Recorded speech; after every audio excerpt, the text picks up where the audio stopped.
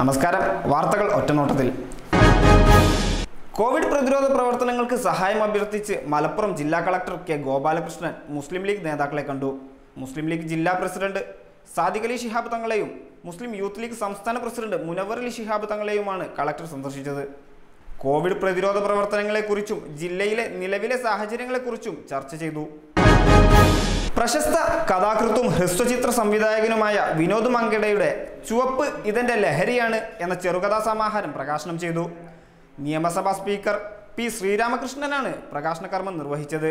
പുസ്തകം ശ്രീ വേണു പാലൂർ ഏറ്റുവാങ്ങി. ജിദ്ദയിൽ മലപ്പുറം മുനിസിപ്പൽ പ്രദേശത്തുള്ള പ്രവാസികളുടെ കൂട്ടായ്മയായ മലപ്പുറം സൗഹൃദവേദി Jeddah വനിതാവിംഗ് S S L C plus two പരീക്ഷയിൽ ഉന്നത വിജയം നേടിയ വിദ്യാർത്ഥികളെ ആദരിച്ചു. അതോടൊപ്പം ഇരുപത്തിമൂന്ന് വർഷത്തെ പ്രവാസം അവസാനിപ്പിച്ചു നാട്ടിലേക്ക് മടങ്ങുന്ന മലപ്പുറം സൗഹൃദവേദി അംഗങ്ങൾക്ക് യാത്രയപ്പും നൽകി. ഷർഫിയയിലെ സഫർ ഓഡിറ്റോറിയത്തിൽ സംഘടിപ്പിച്ച പരിപാടി സെലീന മുസാഫിർ ഉദ്ഘാടനം ചെയ്തു. Perumparamba Karipparamba Moochikkund bypass road P Ubaidulla M L A നാട്ടുകാർക്ക് തുറന്നുകൊടുത്തു പി ഉബൈദുള്ള എം എൽ എയുടെ മണ്ഡലം ആസ്തി വികസന ഫണ്ടിൽ നിന്നും പതിനഞ്ച് ലക്ഷം രൂപ അനുവദിച്ച് പണി പൂർത്തീകരിച്ച വീട് അത്തിമണ്ണിൽ മൊയ്തീൻ സാഹിബ് സ്മാരക റോഡായാണ് നാമനിർദ്ദേശം ചെയ്തിരിക്കുന്നത്. മലപ്പുറം നഗരസഭ chairperson C H Jameela teacher അധ്യക്ഷത വഹിച്ചു. കെ സിദ്ദീഖ് സുമയ്യ സിദ്ദീഖ് അൻവർ റഷീദ് ബാക്കവി തുടങ്ങിയവർ പങ്കെടുത്തു.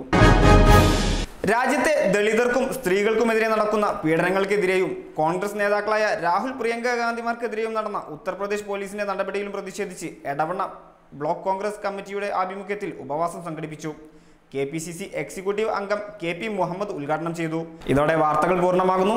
നന്ദി നമസ്കാരം.